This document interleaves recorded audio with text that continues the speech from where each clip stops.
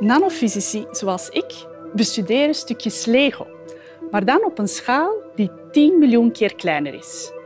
Dat is moeilijk voor te stellen, maar ik ga jullie uitleggen hoe dat eruit ziet en waarom ik dat doe. Heb jij al eens een atoom gezien? Vanuit Hongaar 3020 in Herent is dit de Universiteit van Vlaanderen.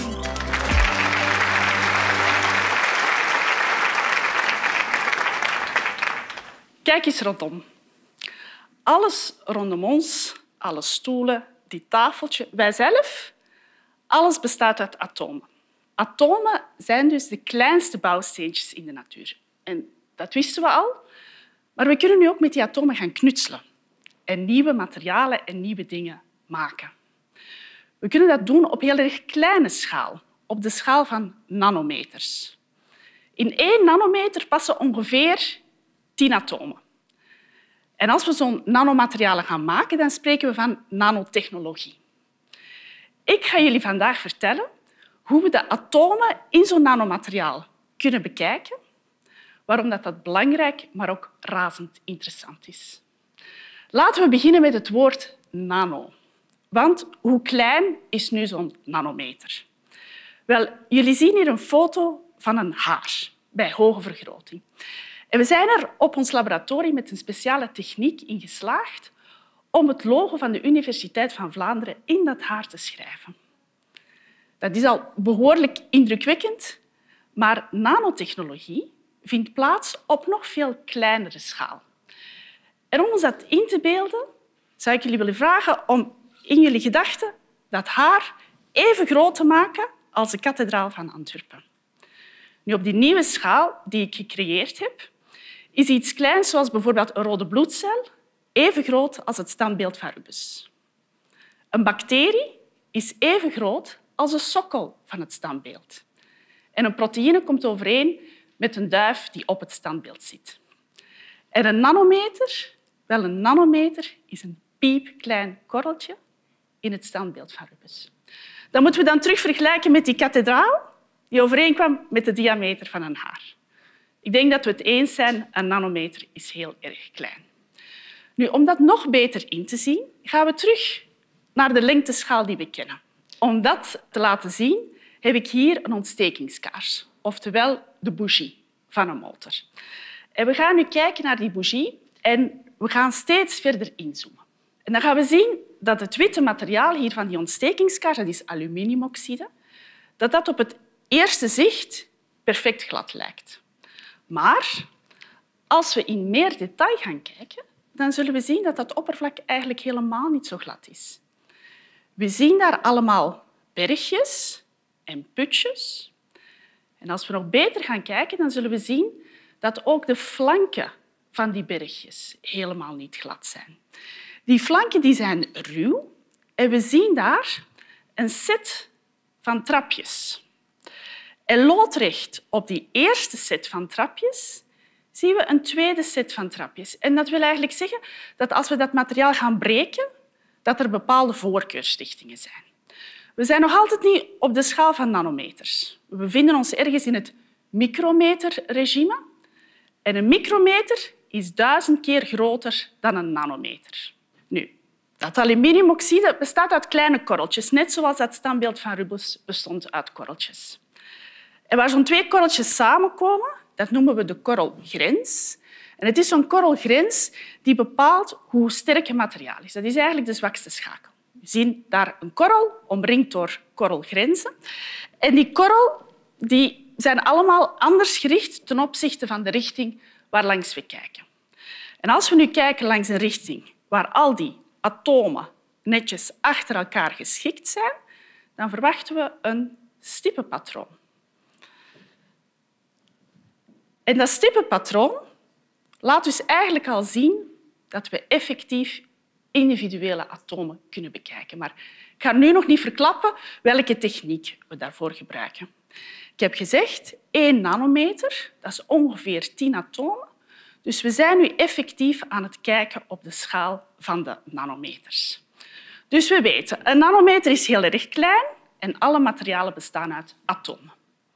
Als we nu materialen gaan maken met afmetingen binnen dat nanometergebied, dat mag 5 nanometer zijn of dat mag 200 nanometer zijn, dan spreken we over nanomaterialen.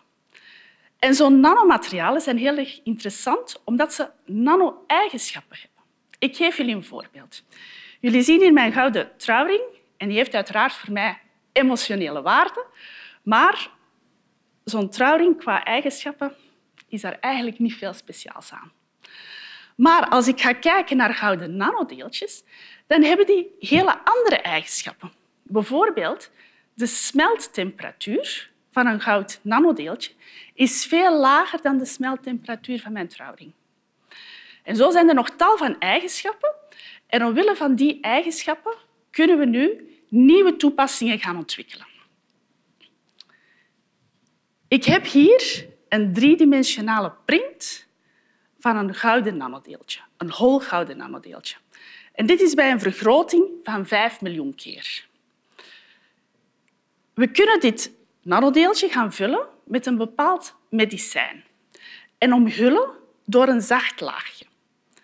De patiënt zal dit systeem dan innemen en via biomoleculen kan je dat laten linken aan wel bepaalde cellen in het lichaam, bijvoorbeeld een tumorcel. Vervolgens wordt de patiënt bestraald met een laser en omwille van de interactie tussen de laser en het nanodeeltje ontstaat er een heel kleine beweging. En beweging creëert warmte. Dat weten we als we in onze handen wrijven. Door die warmte zal dat dunne laagje gaan smelten en komt het medicijn vrij, maar heel erg gecontroleerd, zodat het enkel de tumorcel zal aanvallen en niet de gezonde cellen. Nu, wat is mijn rol in dit geheel? Want ik ben geen medische arts, ik ben een nanofysicus. Wel, het is belangrijk om te weten wat de vorm is van die nanodeeltjes. Of dat een bolletje is, of een staafje of een kubusje. Want het is de vorm die zal bepalen welke laser, welke golflengte van laser dat je moet gebruiken. We moeten dus de vorm van die nanodeeltjes kunnen bestuderen. En dat doen we in ons laboratorium door gebruik te maken van een elektronenmicroscoop. En hier zien jullie een voorbeeld van zo'n elektronenmicroscoop. En die is veel groter dan de optische microscoop die jullie je misschien herinneren uit de les biologie. Wat nu nog belangrijker is, is dat zo'n elektronenmicroscoop geen gebruik maakt van zichtbaar licht. Want zichtbaar licht heeft een golflengte tussen de 400 en 700 nanometer. En dat is veel te groot om die individuele nanodeeltjes te detecteren. We maken daarom gebruik van elektronen. Want elektronen hebben een golflengte in het picometergebied. En een picometer is nog eens duizend keer kleiner dan een nanometer. Hoe gaan we dat nu in praktijk doen? Wel, jullie zien hier drie flesjes met vloeistof. In die vloeistof zitten gouden nanodeeltjes. En die flesjes die hebben een verschillende kleur. Dat is opnieuw een voorbeeld van zo'n nano-eigenschappen, want de grootte van die nanodeeltjes bepaalt de kleur. We brengen dan een druppeltje van zo'n oplossing op het dragertje hier aan het einde van mijn pincet. Die is een klein dragertje en je kan de functie ervan vergelijken met het glazen plaatje van een optische microscoop. Dit dragertje gaan we dan vervolgens hier aan het uiteinde van deze houder aanbrengen. En die houder die stoppen we dan in de elektronenmicroscoop. En op die manier krijgen we beelden die eruit zien zoals jullie hier kunnen zien. En we zien hier weer het stippenpatroon zoals we dat ook zagen voor de ontstekingskaars. So far, so good. Maar ik heb jullie verteld, we moeten de vorm van die nanodeeltjes bepalen. En de vorm bepalen dat kan je niet op basis van één tweedimensionaal beeld. Om jullie een vergelijking te geven, jullie zien hier een ander tweedimensionaal beeld, dat is een schaduwbeeld.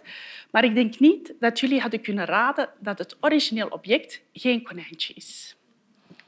Om uit tweedimensionale beelden een driedimensionaal beeld te maken, gebruiken we tomografie. En tomografie, dat kennen sommigen onder jullie misschien wel, want het is ook het concept achter een medische scanner. Als je een scan laat maken van je knie, dan gaat die scanner om je knie verschillende beelden nemen. En via een computerprogramma kan de dokter dan in je knie kijken zonder dat een operatie nodig is. Nu, we gaan uiteraard niet die hele elektronenmicroscoop rondom die nanodeeltjes draaien. Nee, we gaan die houder met die nanodeeltjes in de microscoop draaien. En we gaan zoveel mogelijk beelden nemen, langs verschillende richtingen. En opnieuw gaan we een computerprogramma gebruiken en wiskundige formules om op die manier de vorm van de nanodeeltjes te visualiseren. Nu, in Antwerpen hebben we hele sterke elektronenmicroscopen. Top van de wereld. Maar we hebben ook hele sterke denkers. En zo zijn we erin geslaagd om niet enkel te kijken naar de vorm van de nanodeeltjes, maar ook te kijken naar de individuele atomen in die nanodeeltjes. En op die manier kunnen we de structuur van de nanomaterialen koppelen aan hun eigenschappen en kunnen we er samen met een team van internationale wetenschappers voor zorgen dat die nanomaterialen op een dag ook effectief gebruikt zullen worden voor medische, maar ook voor tal van andere toepassingen.